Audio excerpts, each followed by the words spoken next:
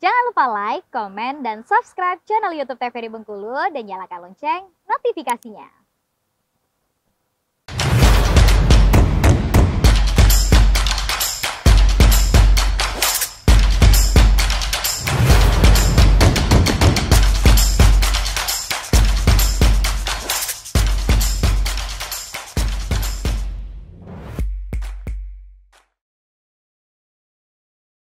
Tugu Presidium dibangun untuk mengenang pemekaran Lebong menjadi kabupaten yang diserahkan langsung oleh Ketua Presidium Lebong, Haji Syaili BA. Peresmian tersebut ditandai dengan penandatanganan prasasti yang dilakukan oleh Bupati Lebong sebelumnya, yakni Haji Rosjon Syah dan juga Ketua DPRD Lebong Teguh Raharjo Eko Purwoto dan Ketua Presidium Lebong Haji Syahili BA.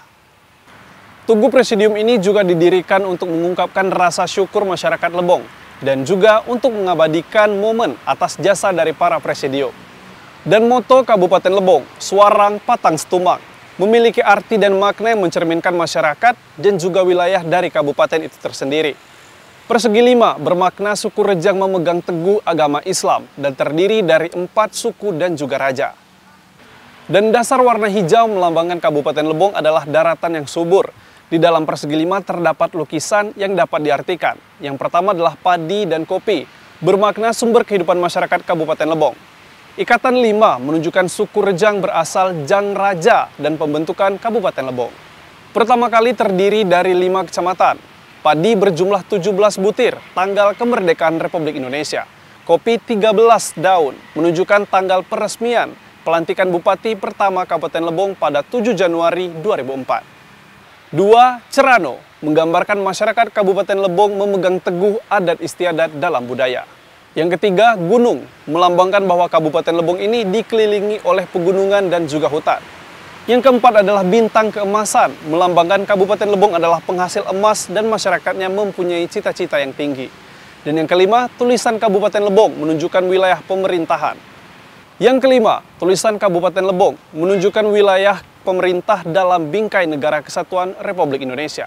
Dan yang keenam, moto Suarang Patang Setumang memiliki pengertian suku Rejang sangat mendambakan persatuan dan juga kesatuan rasa senasib sepenanggungan.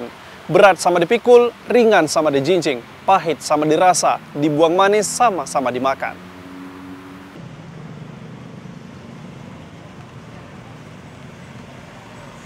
Setelah melihat Tugu yang menjadi salah satu ikon desa Lebong Tambang, kali ini Afifa akan mengajak kalian melihat ikon lainnya di Kota Muara Aman, Kabupaten Lebong.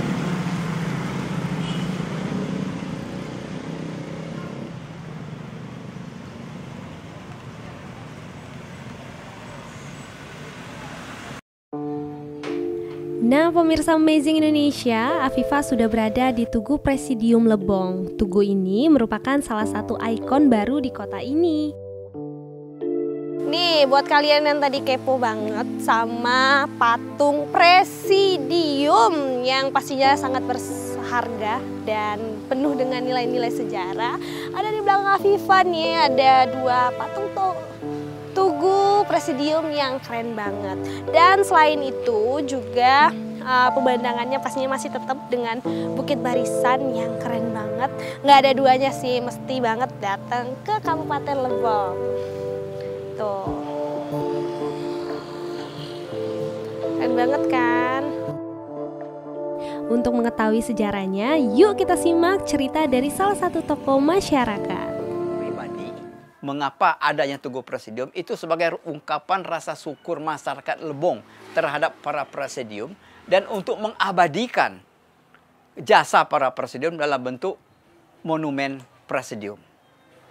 Di situ kan ada orang yang sedang menyerahkan tongkat. Jadi so, se seperti eh, peresmian dari pusat oleh presidium itu.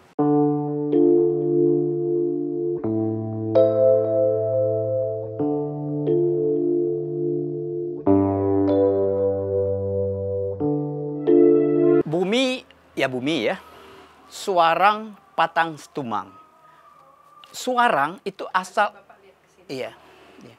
Suarang itu asal katanya dari warang. Warang itu berarti orang. Jadi orang Rejang kalau menegur orang belum tahu namanya, Moipe warang, ke mana orang gitu. Jadi mendapat awalan su, jadi suarang.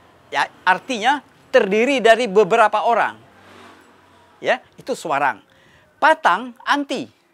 Pantang. Nah, stumang, stumang itu lawannya tidak setia kawan. itu stumang, paham tak? Nah, jadi begini. Kalau kita berjalan berdua, lapar sama dirasa, haus sama ditahan, itulah tidak stumang. Suarang patang stumang. Iya kan? Nah, suarang patang stumang yang dimaksud di logo di sini itu hanya berlaku untuk keluarga. Kenapa suarang patang stumang itu dibikin sebagai semboyan di lebong? Karena lebong ini seperti sebuah keluarga yang harus dilaksanakan. Seandainya baik Indah dari Payambi, yang satu dari Ketenong, sama-sama bertemu di Jakarta, mengalami kesulitan, dia harus tolong. Nah, itu makna daripada, daripada suarang patang stuma. Dan salah satu bangunan yang sangat terkenal dari Kabupaten Lebong adalah Masjid Agung Kabupaten Lebong. Salah satu masjid terindah yang ada di Bengkulu. Masjid Agung Kabupaten Lebong ini bernama Masjid Agung Sultan Abdullah yang berdiri megah. Masjid yang namanya diambil dari nama seorang raja tanah Rejang tersebut memiliki arsitektur dan landmark terindah. Bagi para pengunjung Kabupaten Lebong, kalian dapat melihat salah satu keindahan kota ini yaitu masjid yang megah dan mewah karena memiliki bangunan yang besar serta parkiran yang luas. Pengunjung juga akan disuguhkan dengan keindahan panorama Bukit Barisan di sekeliling Masjid Agung Sultan Abdullah.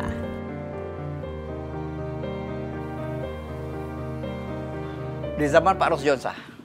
Iya. Namun sebelum Pak Rosjonsah, itu saya pernah lihat dengan mata kepala saya sendiri sudah ada pondasi di zaman Pak Dahadi. Apakah pondasi itu meneruskan rancangan yang sekarang itu saya tidak tahu. Tapi yang jelas menurut cerita bupati yang kemarin yaitu Pak Rosjorsa, beliau berkunjung, beliau pernah melihat dari tiga negara. Dijadikan satu, yaitu Mesir, Arab Saudi, dan Kairo kalau tidak salah. Jadi ketiga unsur masjid itu dijadikan satu yaitu Masjid Sultan Abdullah Lebong.